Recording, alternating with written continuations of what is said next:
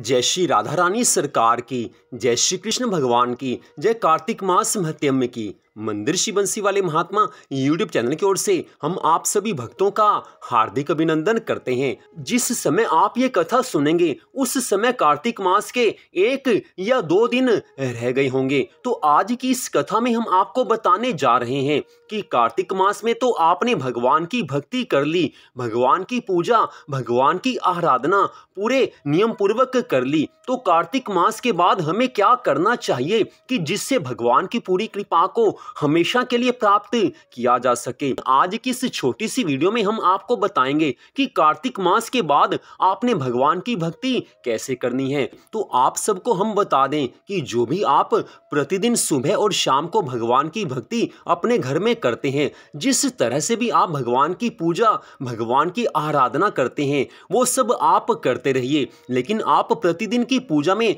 कुछ आवश्यक कार्य आप अवश्य करना शुरू कर दीजिए। वही हम आपको बताने जा रहे हैं। अगर आप वो साथ में करेंगे तो आपको कभी भी अपने दुखों को दूर करने के लिए अपनी परेशानियों को दूर करने के लिए या मनोकामनाओं को पूरा करने के लिए कभी भी आपको किसी से कोई उपाय पूछने की आवश्यकता नहीं रहेगी। आज हमारे जीवन में दुख हैं, परेशानियाँ हैं, चिंताएँ हैं, हमारी मनोकामनाएँ हैं और अगर वो पूरी नहीं हो रही, हमारे दुख, हमारी चिंताएँ दूर नहीं हो रहे तो कारण यही है कि हमारी भक्ति शुद्ध नहीं है। हमारी भक्ति में ही कहीं कोई ना कोई कमी अवश्य है। अगर हम पूरी श्रद्धा भावना से पूरी विधि के अनुसार भगवान की भक्ति करें तो हमारे सब दुखों का नाश भगवान की भक्ति से अपने आप हो ही जाता है। लेकिन ऐसा नहीं हो रहा तो समझ लेना कि हम जो भगवान की भक्ति कर रहे हैं, उसमें कहीं ना कहीं कोई कमी है। हो सकता है कमी बहुत ज़्यादा हो हो सकता है कमी कम हो। तो हम आपको ये तीन चार कार्य बता रहे हैं, इसे आप प्रतिदिन की भक्ति में शामिल कर लीजिए। इससे आपके जीवन में ऐसे चमत्कार होंगे, आपके जीवन में ऐसी भगवान की कृपा होगी कि आपका मन भगवान में लगेगा। आपके दुख भी दूर होंगे। आपको अच्छा भी लगेगा। आपके मन में हमेशा आनंद बढ़ता रहेगा। आपके घर परिवार में सुख, शांति, आनंद आएँगे। ये सब कुछ होगा, लेकिन आपको कुछ कार्य करने हैं। तो वो हम अब आपको यहाँ पर बता रहे हैं। सबसे पहली बात यह है कि आपने प्रतिदिन श्रीमद् भागवत महापुराण की कथा को पढ़ना है या सुनना है। श्रीमद् भागवत महापुराण भगवान श्री कृष्ण जी का दूसरा स्वरूप है। जब भगवान श्री कृष्ण जी द्वापर युग में इस धराधाम से वापस अपने धाम जाने वाले थे, उस समय उन्होंने कहा था कि, हे उद्धव, आने वाले कलयुग में ये श्रीमद् भागवत महापुराण ही मेरा दूसरा स्वरूप होगा।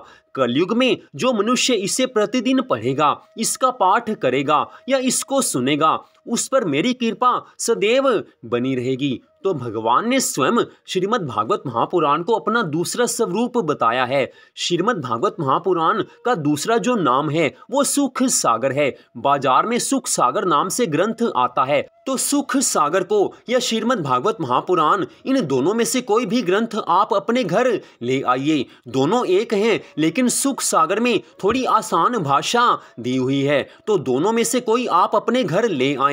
और उसके बाद आप प्रतिदिन एक अध्याय का अगर आप पाठ करेंगे तो आपके जीवन से कलह क्लेश, दुख, चिंताएँ अपने आप दूर होती जाएँगी। समय तो लगता है, लेकिन एक दिन ऐसा आएगा कि आप अपने जीवन में इतने सुखी हो जाएँगे कि आपको उस समय ये विश्वास होगा कि वास्तव में श्रीमद् भागवत महापुराण भगवान श्री कृष्ण जी का दूसरा स्वरूप है। जब आप पाठ करेंगे तो पाठ करते समय भी आपके मन में अपने आप आनंद आता जाएगा। आपका मन भगवान के चरणों में लगेगा। आपके बिगड़े कार्य अपने आप बनते जाएँगे। और ये कुछ उपाय नहीं है। ये तो हमारी प्रतिदिन की भक्ति का अंग है और भगवान ने स्पष्ट कहा है कि प्रतिदिन पाठ अवश्य करना चाहिए। भगवान की कथा अवश्य पढ़नी चाहिए। तो केवल अगर आप श्रीमद् भागवत महापुराण अर्थात सुख सागर का भी आप प्रतिदिन पाठ करते हैं तो अकेले इस पाठ से ही आपको सब कुछ मिल जाएगा। इस श्रीमद भागवत महापुराण को हमारे हिंदू धर्म के सभी अठारह पुराणों में से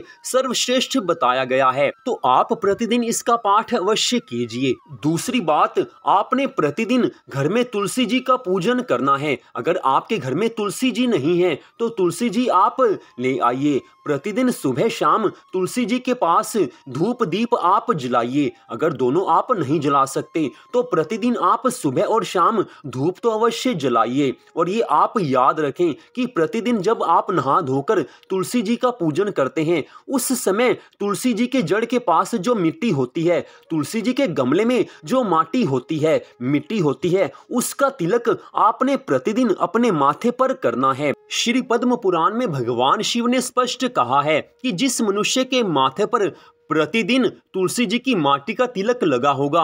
उस दिन अगर मनुष्य की मृत्यु हो जाती है तो यमदूत तो क्या यमराज भी उस मनुष्य की तरफ़ आँख उठाकर नहीं देख सकते? अर्थात अगर उस दिन मनुष्य की मृत्यु होती है, जिस दिन तुलसी जी की माटी का तिलक लगा होगा तो वो मनुष्य नरक में नहीं जा सकता। वो मनुष्य चौरासी लाख योनियों में नहीं भटक सकता। उस मनुष्य का उसी समय उद्धार हो जाता है। उसको मोक्ष मिल जाता है। तो आपने प्रतिदिन तुलसी जी की माटी का तिलक अपने माथे पर करना ही करना है। इसके बाद बात आती है कि अगर आप लिख सकते हैं तो आप प्रतिदिन किसी भी कॉपी पर राधा राधा, ऐसे राधा नाम के दो पेज आप प्रतिदिन लेफ़्ट और राइट, दाएँ और बाएँ, ये दो पेज आप प्रतिदिन अवश्य लिखें ही लिखें। दो पेज अगर आप राधा रानी के नाम के लिखते हैं तो आप देखना कि आपके जीवन में कैसे कैसे चमत्कार होंगे। भगवान श्री कृष्ण जी ने स्पष्ट बताया है कि राधा रानी का नाम भगवान को सबसे प्यारा है। जो कोई राधा राधा रानी के नाम का लिखित जाप करता है उसके ऊपर भगवान की बहुत ज़्यादा कृपा हो जाती है। राधा रानी अपने ऐसे भक्तों की पल पल रक्षा करती हैं, अपने भक्तों की सभी मनोकामनाओं को पूरा कर देती हैं।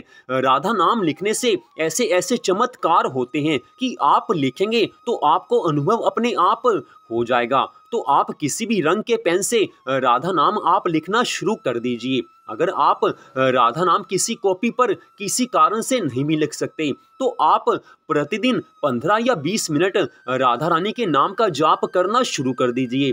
वैसे तो सारा दिन राधे राधे राधे राधे चलता ही रहना चाहिए। आप ये सब कुछ करेंगे, फिर आप देख सकते हैं कि कैसे आपके जीवन में चमत्कार होंगे। आपका मन कैसे हमेशा आनंद से भरा रहेगा। कोई आपका कुछ बिगाड़ नहीं पाएगा। तो भगवान की भक्ति के ये सर्वोत्तम उपाय हैं। ये कोई ऐसे उपाय नहीं है कि जो अलग से आपको बताए जा रहे हैं। ये तो प्रतिदिन की भक्ति हमें ऐसी करनी चाहिए। प्रतिदिन अगर हम ऐसे भगवान की भक्ति करते हैं तो अपने आप भगवान की अनंत कृपा प्रकट हो ही जाती है। तो कोई भी प्रश्न आपके मन में हो तो आप कभी भी फ़ोन करके हमसे जानकारी ले सकते हैं। आपकी हर शंका का समाधान किया जाएगा। हमारा मोबाइल नंबर आप सामने मोबाइल की स्क्रीन पर देख सकते हैं। तो मंदिर शिव बंसी वाले महात्मा यूट्यूब चैनल की ओर से आज की इस विशेष जानकारी वाली वीडियो को देखने के लिए आप सबका दिल से धन्यवाद। भगवान श्री राधा कृष्ण जी की कार्तिक माह मास महत्यम की अनंत कृपा सदा आप सब पर आपके परिवार पर बनी रहे। इसी मंगल कामना के साथ जय श्री राधा रानी सरकार की, जय श्री कृष्ण भगवान की, जय कार्तिक मास महत्यम की। जय जय श्री राधे, जय जय श्री राधे, जय जय श्री राधे, श्याम।